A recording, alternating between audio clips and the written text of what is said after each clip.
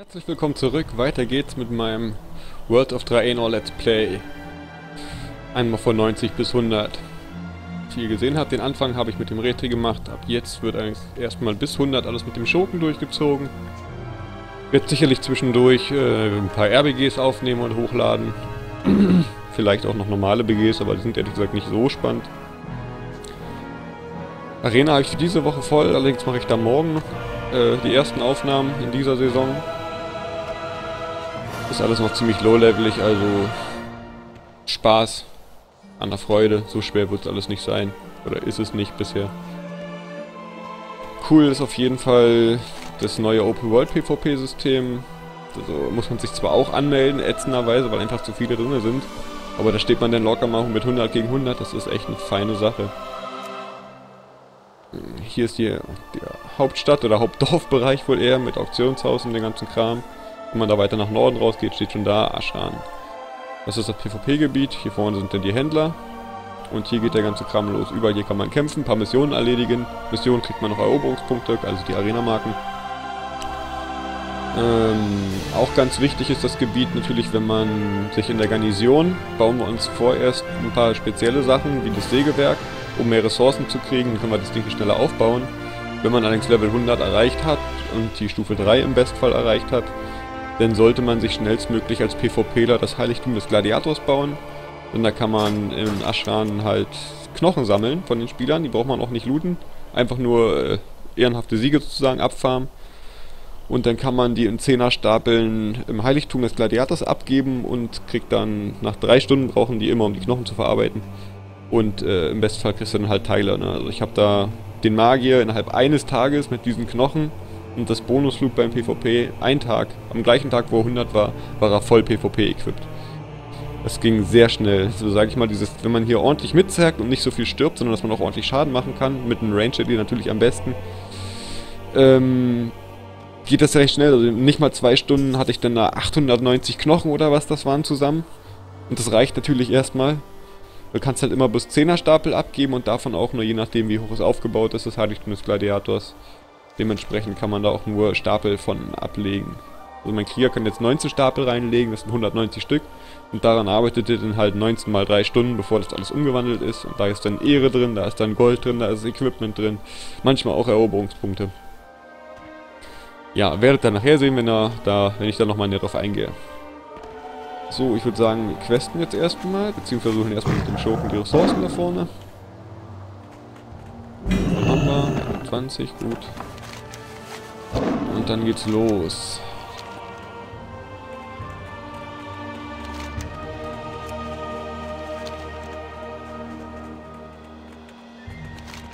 Die rot markierten Bereiche auf der Karte dienen wieder der Archäologie.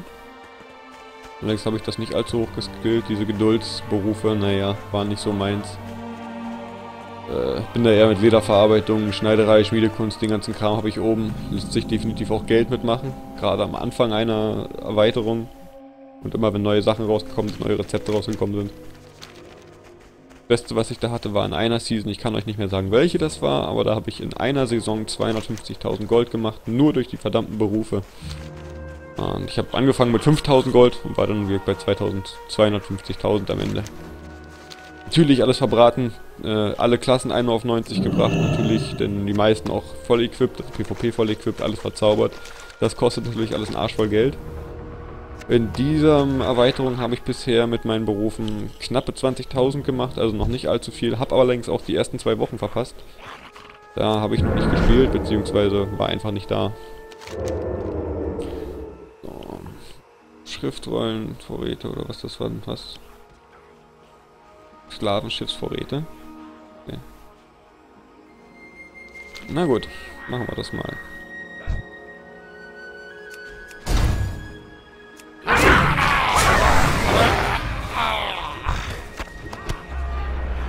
Deutschland 1 gegen 1, einfach klasse.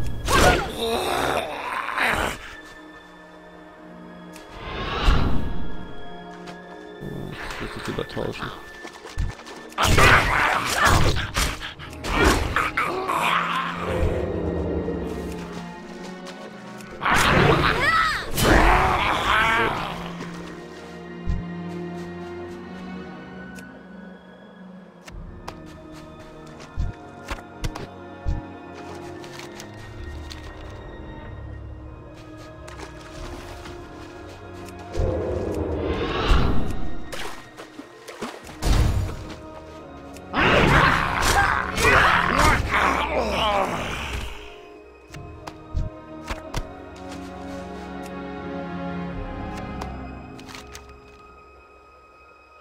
Genauer angucken.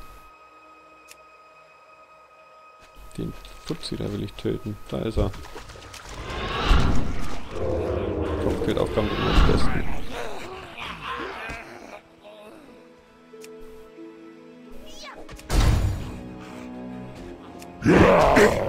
Oh, das ist ärgerlich.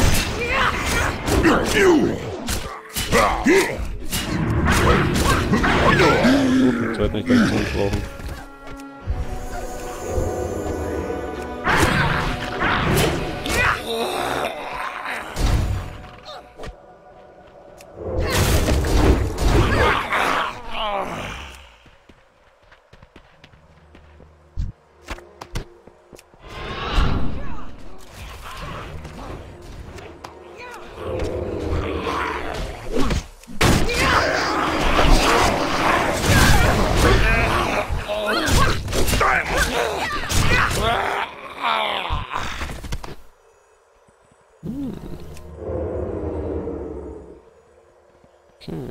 Doch auf R liegen. Alles klar. Gewohnheitssache.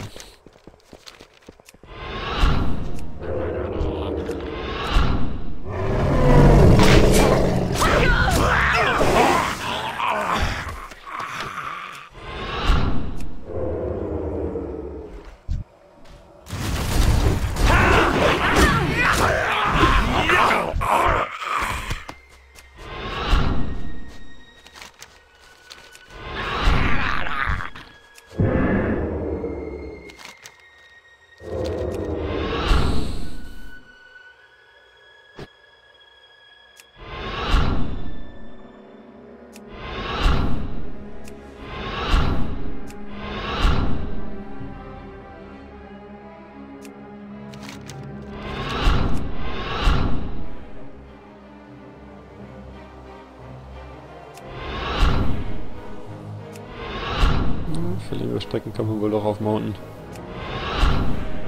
Geschwindigkeit derzeit, obwohl bei 195 lohnt sich das nicht wirklich. Wegen den 5% Geschwindigkeit. Gibt es Nachricht von der Frau? Fahlen Orks sind gefährlich. Hoffentlich Wir haben warten wir auf damit euren das Befehl. letzte Mal Wir kümmern uns darum. tun. Igitt, einige dieser Vorräte sind völlig durchnässt und klebrig. Also sie sind zwar brauchbar, aber beim Licht ist das eklig.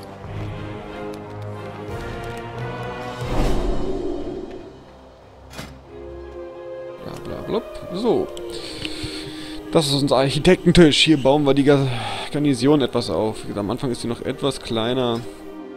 Wird aber größer mit der Zeit. Wir sollen vorerst die Kaserne aufbauen, festbedingt. Erledigt.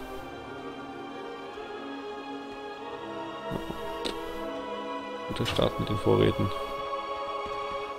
Und das Ding einweihen. Normalerweise hat das ein bisschen Bauzeit, bevor man das einweiht, aber sobald das steht, Die Kaserne sieht großartig aus. Ihr solltet euch bei Marat melden. Ich bleibe hier und bewundere meine Arbeit. Eiskalt raus teleportiert. Oh. Ich nicht. Ich dachte, ich habe ein Level, aber ein bisschen ist noch. Ach, da unten.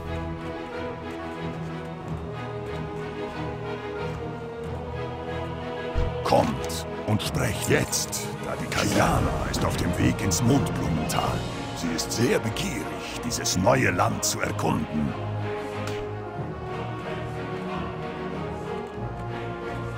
Schon gemacht. Dorthin, sagt er. Okay, das haben wir, das haben wir. Na dann. Los geht's.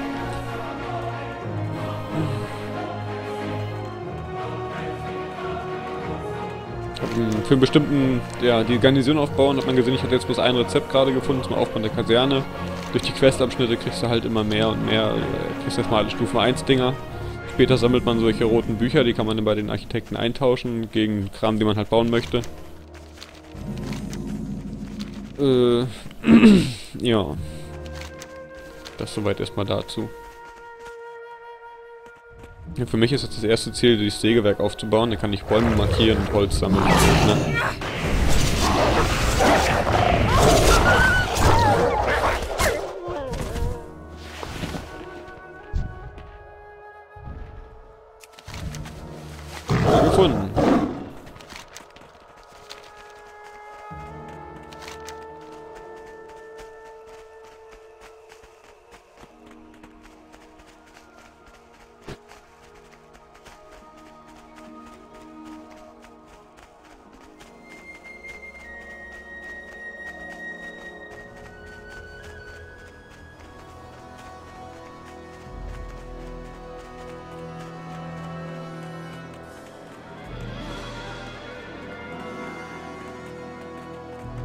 Aber das irgendwo hinreiten ist nicht wirklich spannend.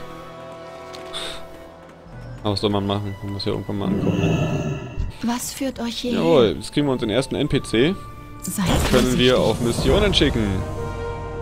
Da gibt sie uns Ihr wahrscheinlich auch gleich die Quest dafür. Ne? Jawohl. Ja, ja, okay. Was wir dafür kriegen, steht hier.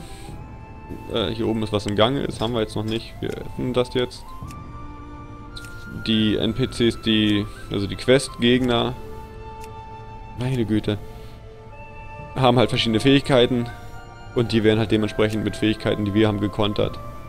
In diesem Fall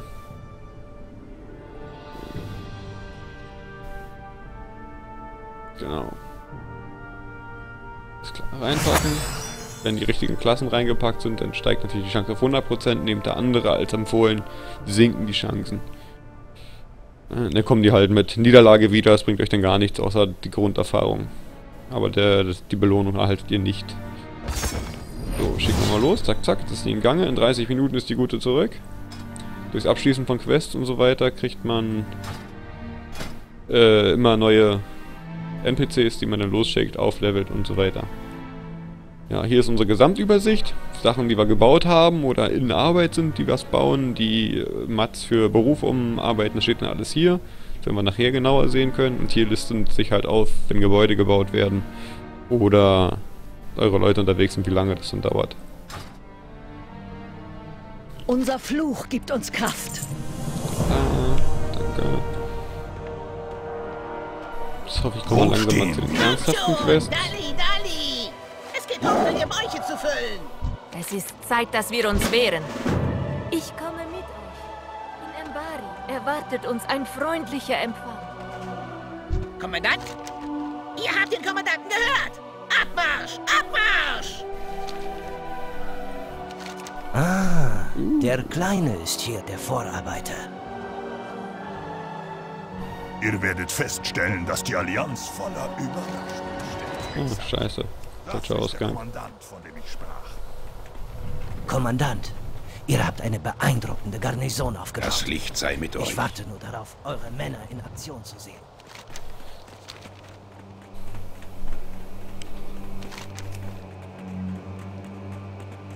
Ja, um gleich mal zu beantworten, was das hier ist. Das sind so eine Bereiche, sind da müsst ihr nicht zu NPCs irgendwelche Missionen annehmen. Wenn ihr diese Bereiche betretet, dann startet gleich ein Bonusziel, die Bonusquest in diesem Bereich einfach dementsprechend irgendwas einsammeln, töten, wie auch immer, zerstören, befreien und so weiter. Und sobald die abgeschlossen ist, kriegt er gleich ein anständiges Sümmchen an Erfahrung und Gold. Ähm, auch da die Rezepte zum Beispiel fürs Bergbau, beim Bergbau direkt, beim Abbau der Ärzte habe ich das Rezept gefunden, um auf Level 700 hochzugehen. Die Schmiederezepte habe ich per Quest gekriegt.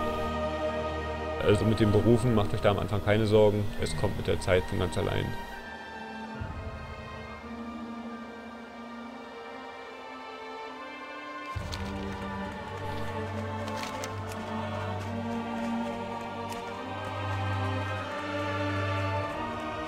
Rennen wir da mal runter. Unterwegs werden wir, glaube ich, noch ein, zwei Missionen finden, die wir gleich noch machen im Anschluss. Oder währenddessen. Erwartet uns ein freundlicher Empfang.